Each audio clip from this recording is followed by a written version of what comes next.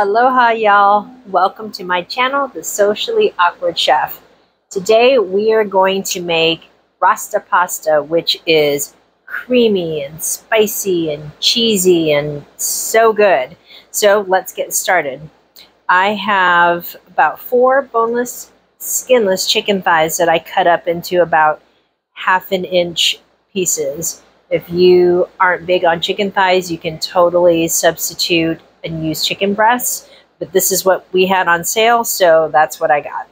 Next up, we are going to get some jerk seasoning. You can use your favorite brand. This just happens to be mine.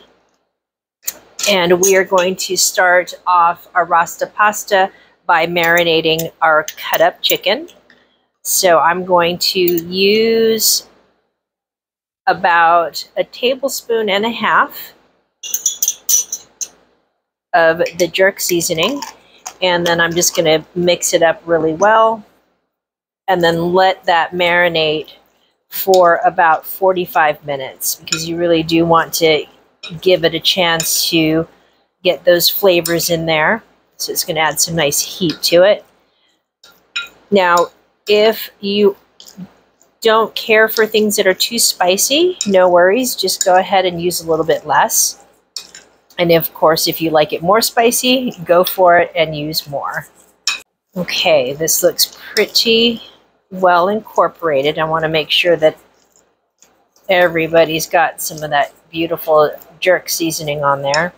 So I'm just going to put some plastic wrap on this and put this in the fridge for about 45 minutes, and then I'll see you in a little bit.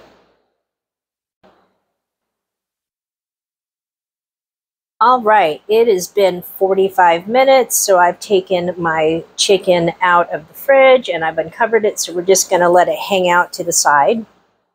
In the meantime, you can see I've got some veggies already cut up and ready to go. So the ingredients that you'll need are one bunch of green onions, and I just went ahead and cut them in about one and a half inch pieces. I've got one medium onion and I just sliced that about a quarter of an inch. I have two bell peppers here, yellow bell pepper as well as red. I've got one garlic clove that I went ahead and minced up. And there is one and a half cups of milk.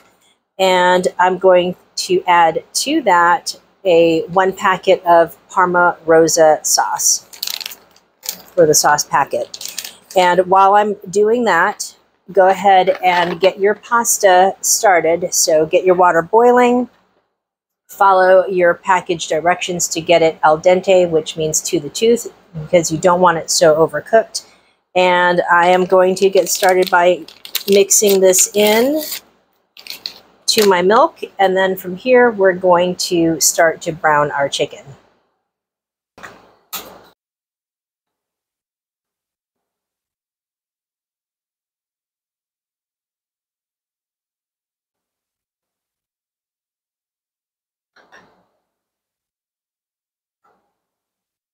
Okay, our pan is nice and hot, so I'm just going to add a little bit of oil. And you can use whatever oil you prefer, as, um, as long as it's neutral in flavor.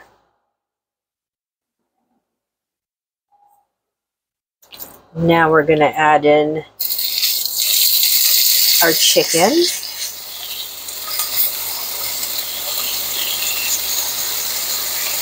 And we don't want to overcrowd the pan, so we're going to do it in batches.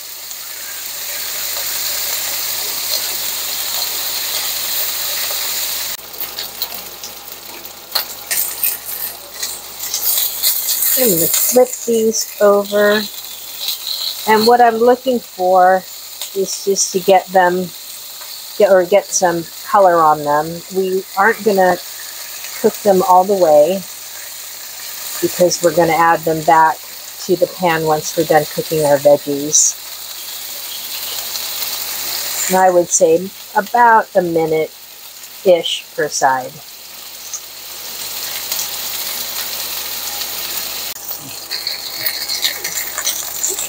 All right, these look pretty good, so I'm going to just take them off. I think I did not mention the temperature of my frying pan, which is medium high. And I am using canola oil.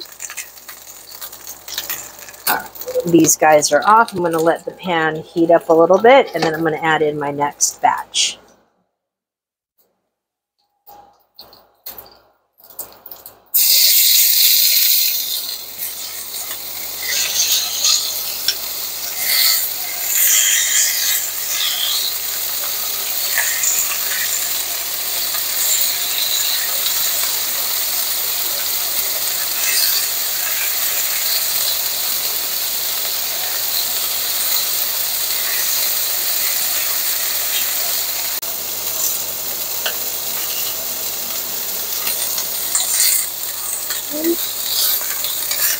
I'm going to take these guys off.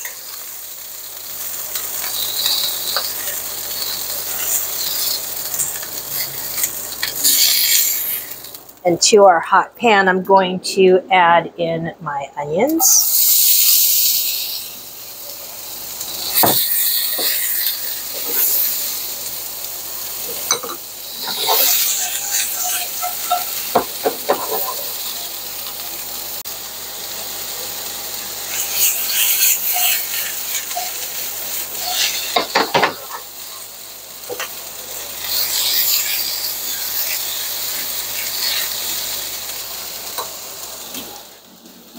I'm going to add in a good pinch of salt.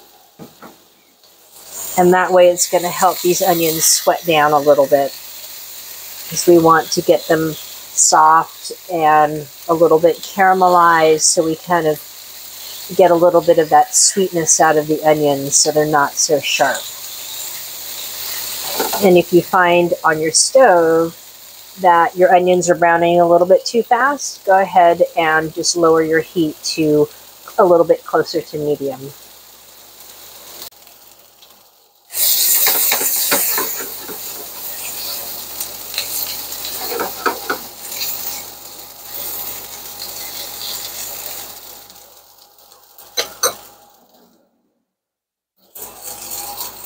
Looks like my water is boiling, so I'm going to add some salt to it. And I would say I'm adding a couple of tablespoons of salt to my water. And then I, to that, I'm going to add in my penne. So we're going to do a whole box, which is one pound.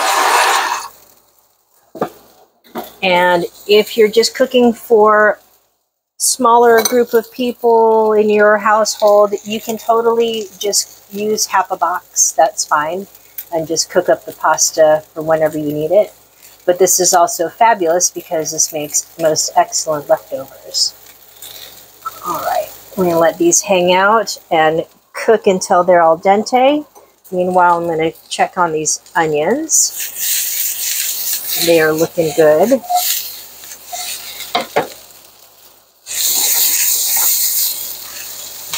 See how they're sweating down, they're getting softer.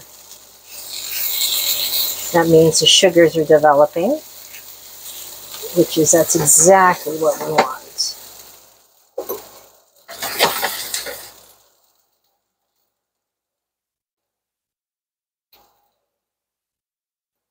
These are looking pretty good, so I'm going to add them to my bowl with the chicken. Oops. Now I'm going to add a little bit more oil.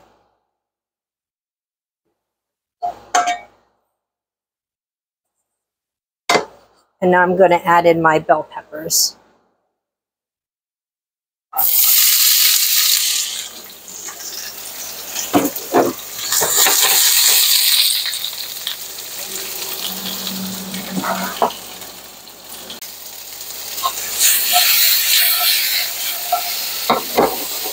My peppers are about at their halfway point, so I'm going to go ahead and add in my cut green onions as well as the garlic. Give this a nice zhuzh.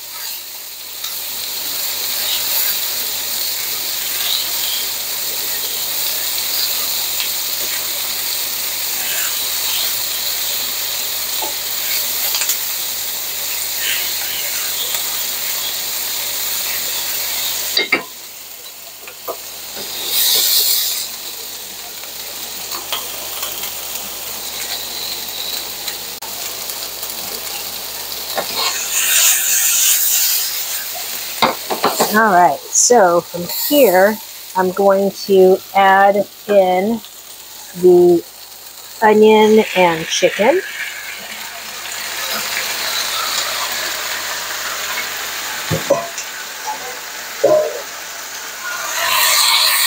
I'm going to lower my heat to medium.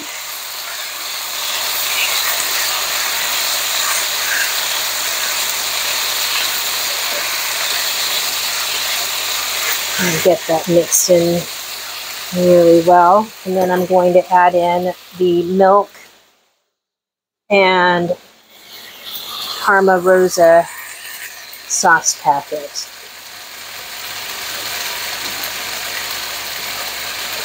give it another stir.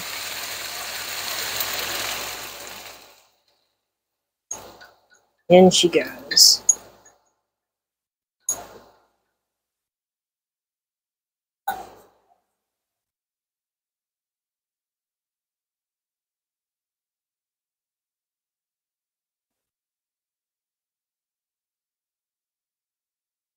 Just going to give this a gentle mix and let all the flavors hang out. And we're going to continue to cook this over medium heat about five to six minutes.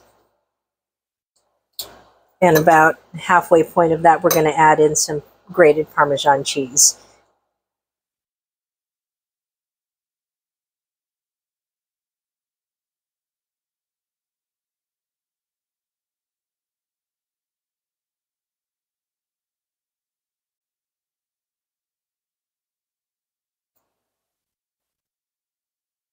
We are at the halfway point, so I'm just going to go ahead and add in a half a cup of grated Parmesan. And I'm going to give this another good stir. I'm also going to pop the heat down to medium low. And we're just going to cook this through until the parm is nice and melty. And I also want to give this a taste because at this point you can go ahead and adjust the spice level. So if you want it a little bit more spicy, you can go ahead and add in some more of that jerk seasoning marinade. So let's see where we're at.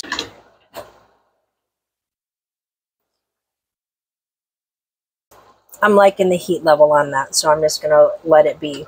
Now my pasta is ready to be drained, so I'm going to turn off the heat from this base here, drain my pasta, and I'll see you in a sec.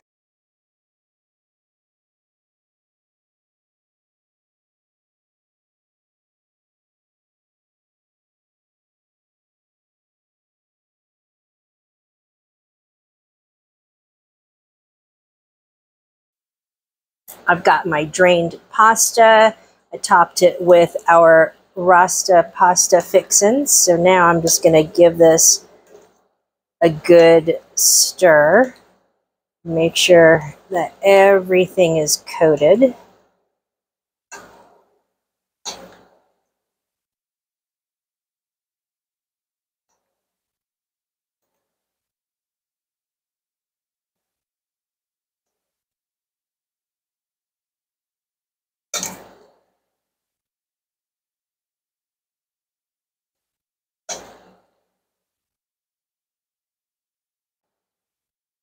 Ready to dish up.